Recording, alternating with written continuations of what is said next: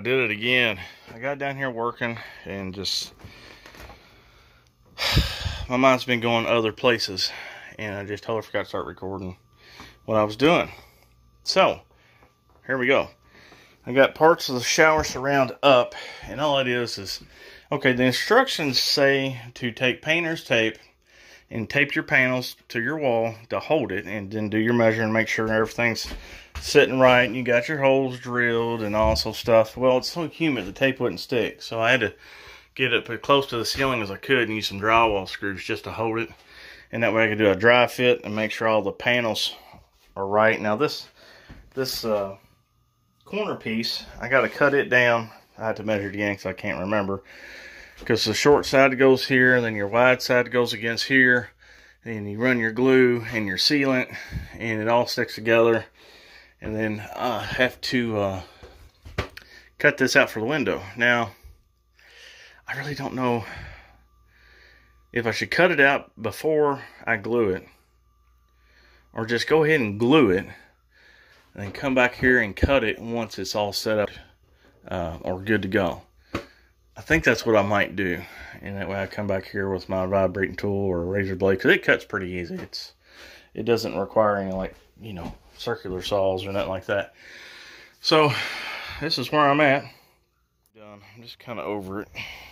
It's just one thing after another, and I spent half the day trying to find the right stuff to glue that to the drywall. I drove. I got up down here at 8:30 in the morning. Didn't find. Had to go to three different stores just to find one tube each because each store was out and all I had was one tube. Didn't get started till 12 o'clock. Ugh, man. So I'm gonna have this done shortly. Hopefully, thank praise to Jesus, I'll have this done. And uh, yeah, so let's get after it. Well, the time has come, and I've glued my first piece down, this corner piece, and I hope it all holds the way it should. I can go back and clean this off with cleaner after a while. I just want to get these pieces hung, and uh, I'll come back tomorrow and finish it up because they, they're going to have to have time to set up. So let me get to it. Good morning, folks. Monday morning. It's about 10 o'clock. And I'm going to do some backhoe work and do some grading out front here. There's some of the grade work I've been doing with my backhoe. Isn't it pretty? Yeah, just trying to get it smooth. Oh, let me show you my backhoe. See, this is my backhoe. It even says so. Backhoe. And for those people that might be another language, you know, then I got backhoe. you know, so yeah, this is what I'm doing. I'm I'm backhoeing all these little tractor marks back when I spread the dirt. It makes it real bumpy because I, I want to be able to get over here and ride my mower to keep this grass down for you know who, the old ticks. So, oh yeah, I forgot to show you guys this. I can't remember if I planted any pumpkins. So now I'll plant pumpkins. What are you? Are you a lightning bug? Are you a lightning bug? I don't think you're a lightning bug. I think you're just a bug. you better go on. So anyway, that's what I'm doing. I get done with this when it gets a little bit hotter in about an hour. I'm gonna get back inside start working on the kitchen.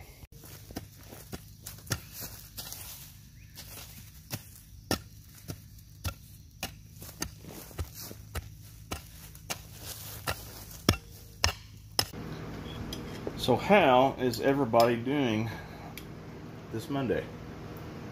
Hmm. You have to forgive me. These are the baked beans I made last night, about 2 o'clock in the morning.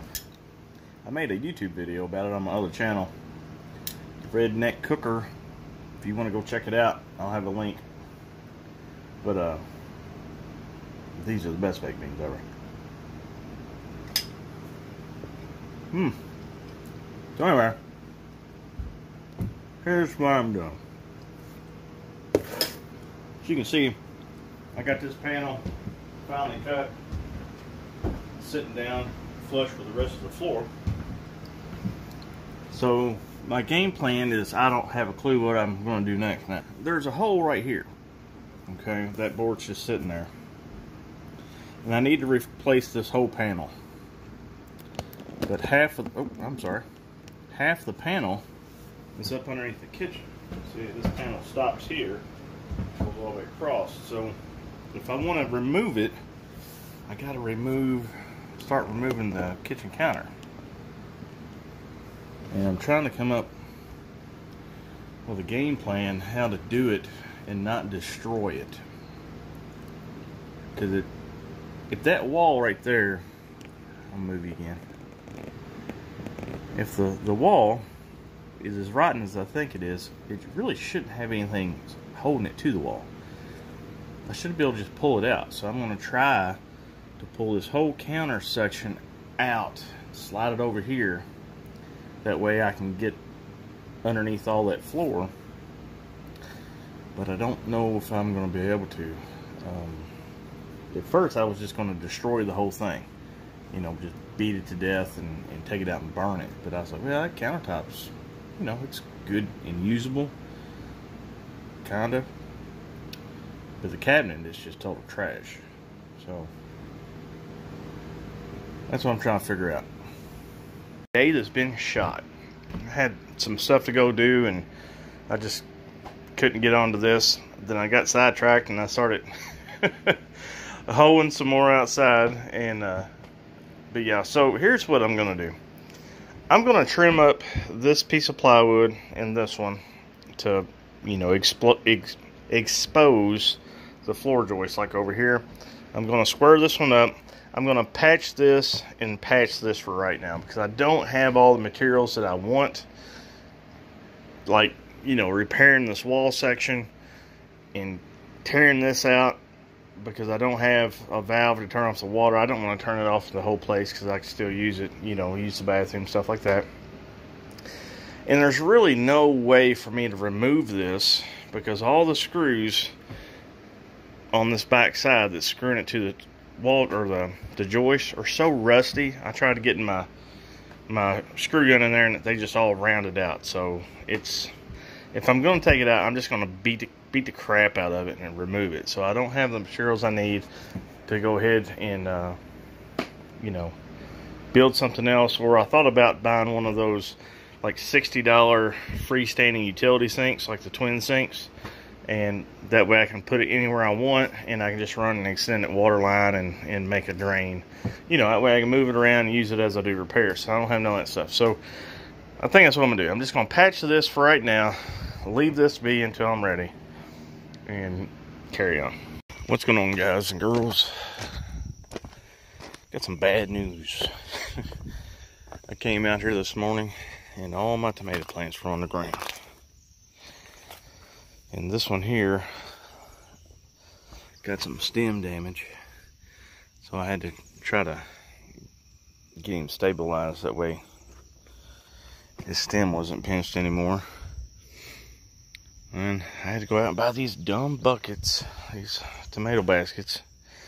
Five dollars a piece for these pieces of crap. But I'm hoping they work. I wasn't going to buy any more than five, so I found this old tiki torch drove it into the ground. Tied him up two different times. I'm hoping that works. So what I'm going to do is uh, make my own baskets. I don't have enough material, but maybe I can forge some more. I figured I had this small roll of fencing right here.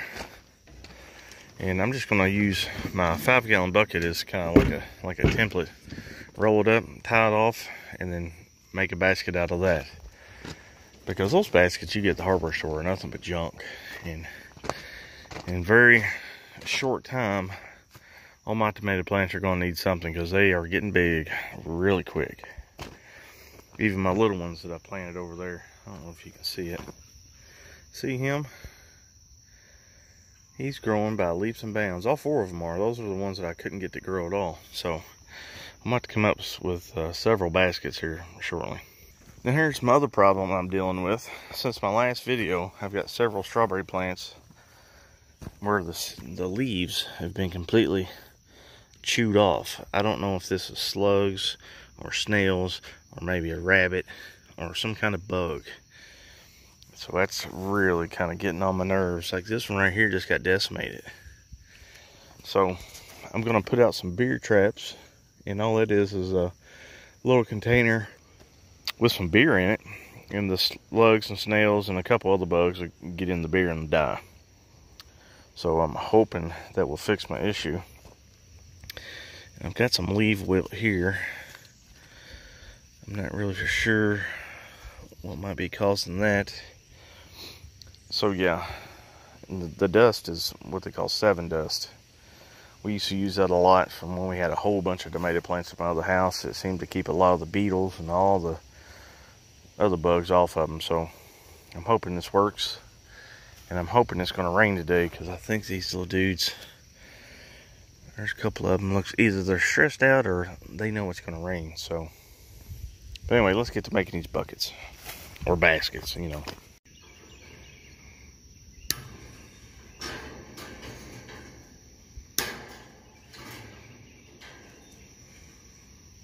There we go. Let's cut the bottom off of it, then I cut the nubs off of it. And surely that right there will make a dandy fine tomato cage. What I might do is next time I get the money is go buy a roll of the six by six fencing. Or maybe I'll just buy some more of this. I don't know. Just get something a lot more heavy duty. Let's just start making these cages during the wintertime and sell them in the springtime. And call them commercial grade tomato baskets. I'm sure somebody will buy them.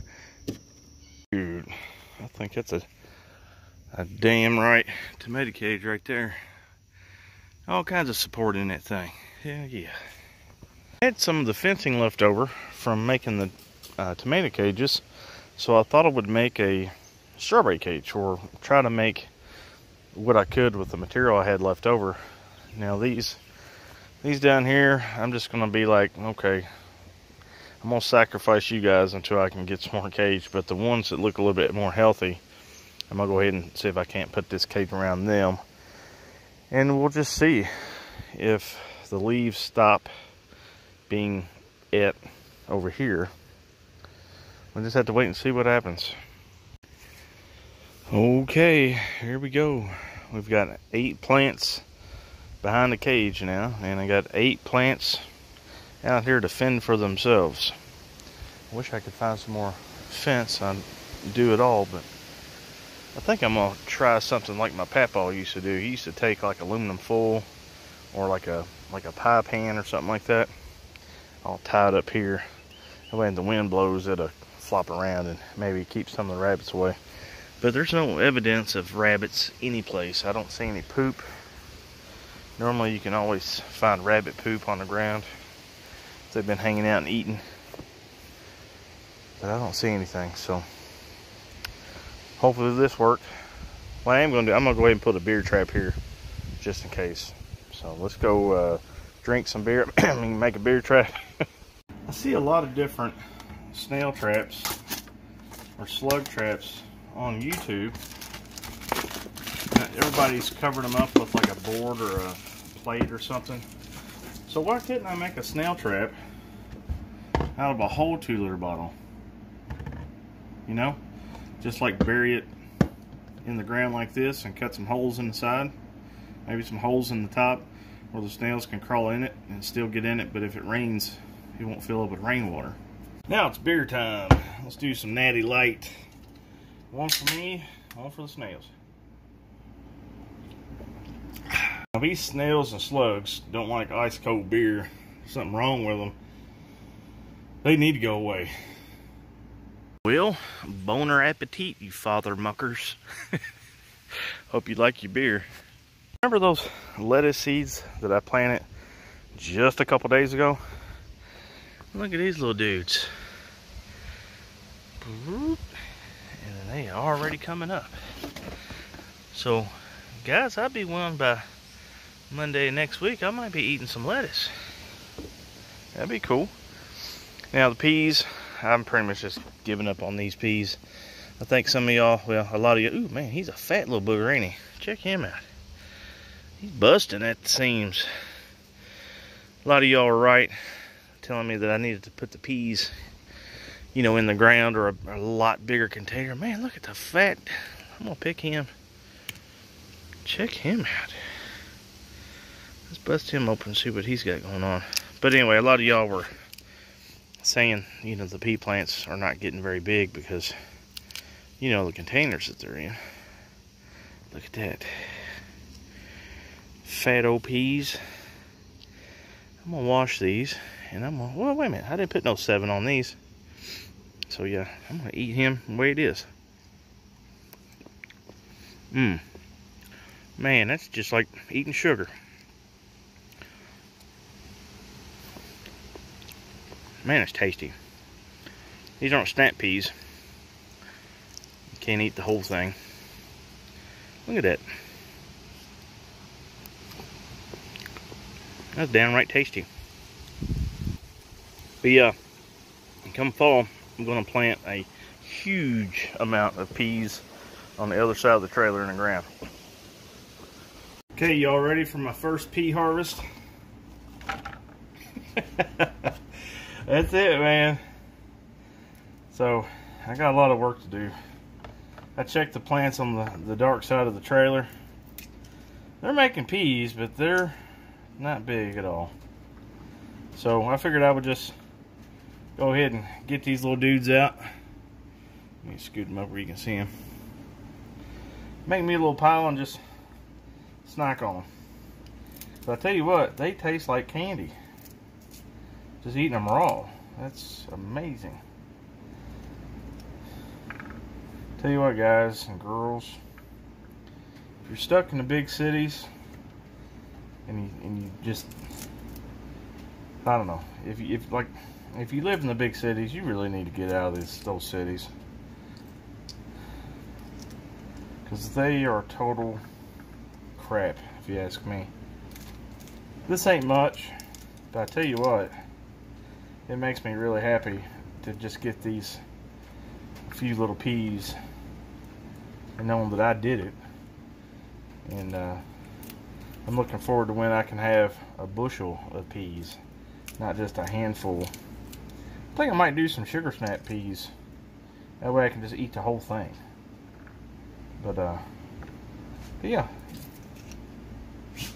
This would be a good little mess as far as just a snack on. If you think you can't do this kind of stuff, folks, you know, can't never could, you know what I mean? Just get out there and do it. Even if you live in an apartment, you can get containers. You can get everything you need to grow stuff. You might not be able to get it in like a large abundance, but you'd be surprised what you can do. I've learned a, just a whole lot since this spring Man, look at these big old fat peas. And uh, I'm really excited about the next growing season and seeing if I can't turn this into a bushel.